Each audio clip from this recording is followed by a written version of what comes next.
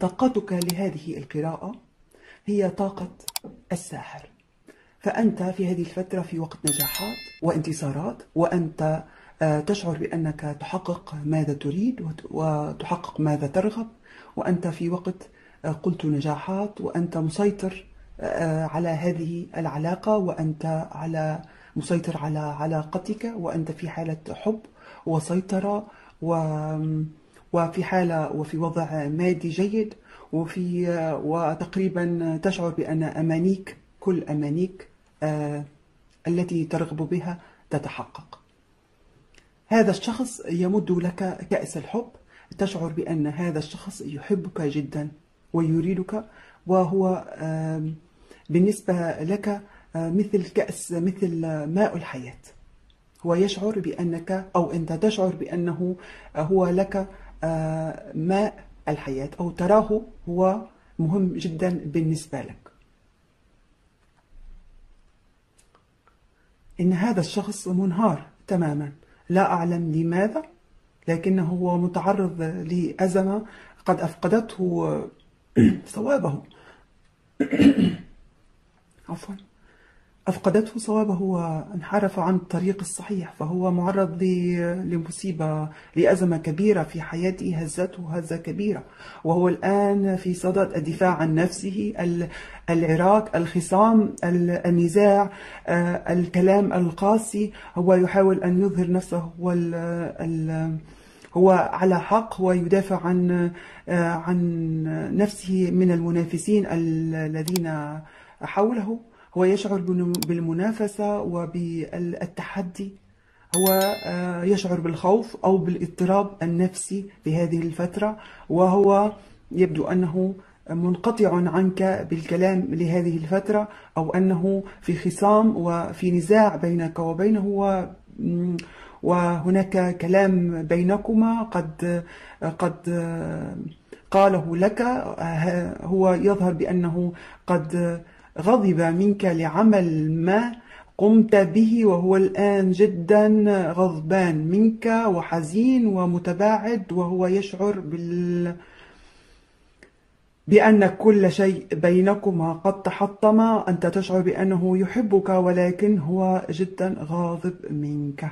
لعمل ما احتمال بأنك قد قمت لأن هناك عفوا أصدقائي أنا سأقول سأشرح ما يظهر لي احتمال بأن هناك مفسرين آخرون يفسرون هذه البطاقات بطريقة أخرى لكن سأفسر ماذا أرى.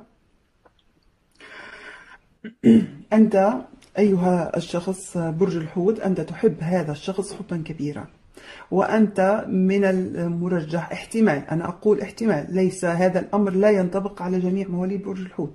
عفوا منكم. خذوا ما يناسبكم من هذه القراءة. احتمال أول قلت بأنك تعيش حياتك تعيش في فرح تعيش في سعادة تعيش في استقرار تعيش في اندثار هذا الاحتمال الأول. الاحتمال الثاني بأنك على خصام مع هذا الحبيب. وفي وأنت على خصام مع هذا الحبيب لأنك قد قمت بعمل ما قد أغضبه. احتمال بأنك قمت بعمل آه، سحر أو لجلبه إليك ليحبك حبا كبيرا. آه، لا أعلم ماذا. لكن طاقة البرج المنهار وطاقة الساحر وبينهما الكأس هي تعني.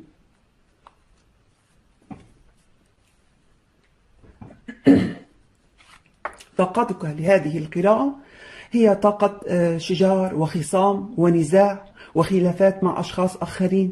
ربما أنت آه، تتنافس مع مع أشخاص آخرين على هذا الشخص. ربما أنت تحب هذا الشخص حبا كبيرا وترى بأنه هو شخصية ملفتة للنظر وهناك معجبين كثيرين حوله وأنت تحاول بشتى الوسائل أن تجذب هذا الشخص آه، إليك بطرق سليمة أو غير سليمة. لا يهم أنت تحب هذا الشخص وأنت تريد أن تأخذه لك فقط. وأنت في حالة غضب وشجار أو أنك في صراع نفسي كبير مع نفسك أو محاسبة للذات آه، آه، لأخطاء قد قمت بها سابقا. طاقة الحبيب هو يشعر بحب كبير آه، لك. هو لا يظهر لك مشاعره. هو يحبك احتمال بأنه يحبك أكثر مما تحبه أنت. لكنه هو إنسان عقلاني يقدر أن يحافظ على مشاعره يقدر أن يحافظ على توازنه. هناك آه، هناك عنده حب عقلاني متوازن بين القلب والعقل. وبالمناسبة هذه الأبراج هي برج العقرب آه، برج القوس برج ال ال آه، نستطيع أن نقول برج الأبراج الترابية وبرج الدلو. وبرج الدلو. فقط. آه إذا هذا الحبيب يحبك بشكل عقلاني يحبك من قلبه وعقله لكن هو إنسان جدي ومنطقي ولا يحاول أن يظهر مشاعره لك. يظهر أنك إنسان أنت بطبعك إنسان عصبي وتحاول أن تعبر عن مشاعرك بشكل كبير لهذا الشخص وأنت تحبه أيضا أن يعبر لك عن مشاعره أيضا. ولكنه هو رجل عقلاني إنسان عقلاني لا يعبر عن مشاعره بأشياء بكلام أو ما شابه. يعبر عن مشاعره لك بأفعال. ولكنك أنت تحبه أن يعبر عن مشاعره بالكلام. وهناك اختلاف بينكما. لعلكما آه، أصبح بينكما مشاكل وخلافات بسبب آه، هذه هذا الأمر. فأنت تغار غيرة شديدة على هذا الشخص وهو يحبك. ولا ولا ولا يظهر في في هذه القراءة بأنه ينوي بك السوء أو أو يحب شخص آخر.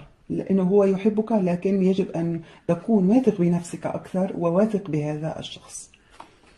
آه، عواطفك أو مشاعرك باتجاه هذا الحبيب أنت آه، أنت تحاول أن تقدم له آه، كأس الحب. أنت تحبه أيضا جدا وأنت تسعى وتراه أنه يحبك أيضا. أنت تعلم تعلم بأنه يحبك لكنك أنت تسعى لأن وتحاول جاهدا لكي يكون معك في زواج وفي استقرار. أنت تريد هذا الشخص فقط لك. وتريده بسرعة. وتريده بشكل جدي.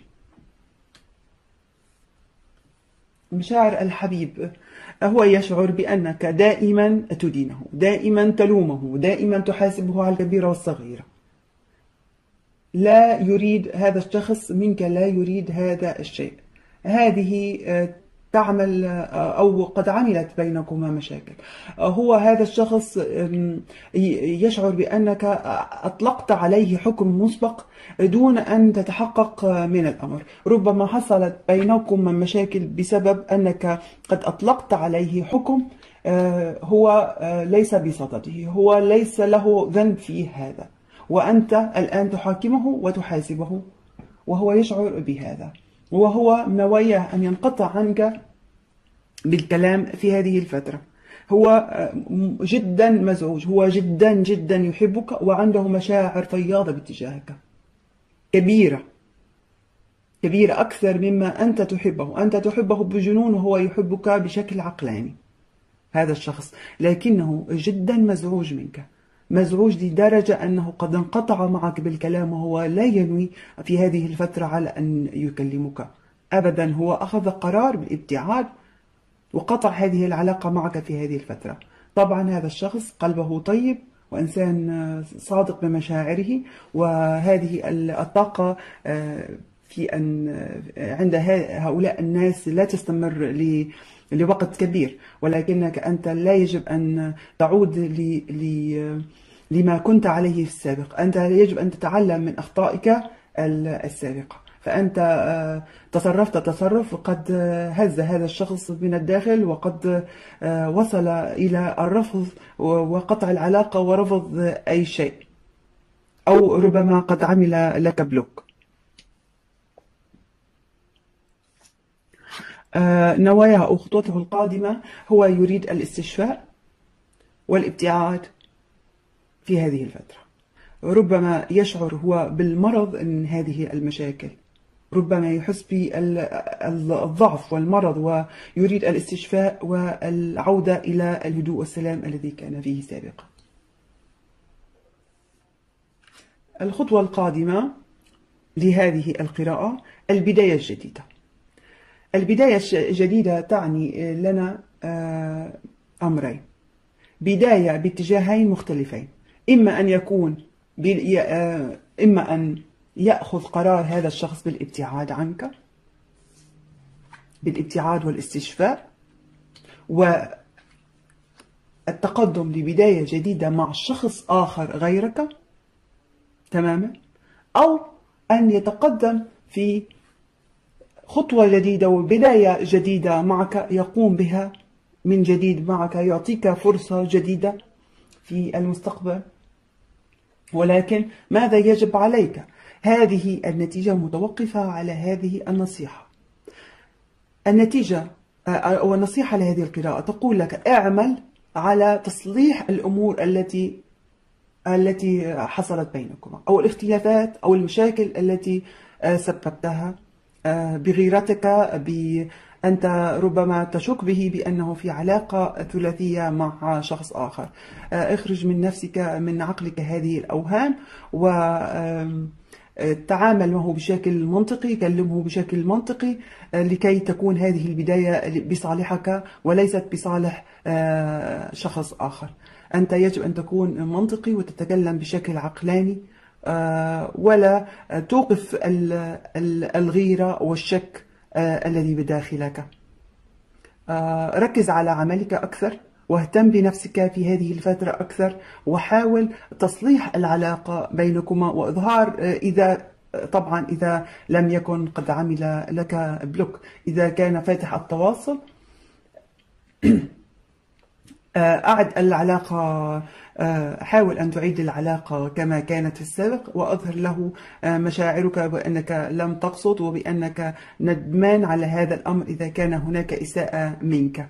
احتمال بأن هذه القراءة تكون كلها آه، قراءة عكسية. أنت الذي عملت بهذا الشخص هو الذي عمل بك هذا وأنت ممكن أن تعكس هذه القراءة. ولكن هذه الطاقات تظهر لي هكذا وأنا أقرأها هكذا وأنتم كل واحد يأخذ آه، منها الشيء المناسب لحياته إذا أنت عليك أن تعمل على آه، على تطوير هذه العلاقة وعلى آه، إزالة الأوهام العالقة في رأسك من فأنت تشعر بأن هناك طرف ثالث في هذه العلاقة. النتيجة متوقفة على على على نصيحتك أن آه، تستعمل هذه النصيحة أو النصيحة تقول آه، بأن تأخذ إذا كان قد عمل لك بلوك في هذه الفترة أنت من الأفضل أن تنتبه لعملك وتركز بعملك وتبتعد قليلا عن هذا الشخص. ربما يعود لوحده الطاقة تتجدد بعد فترة. ربما يريد أخذ قسط من الراحة والاستشفاء كما قلت. الابتعاد هو يحس بأنه متعب وهو يريد أن يشعر بحريته قليلا.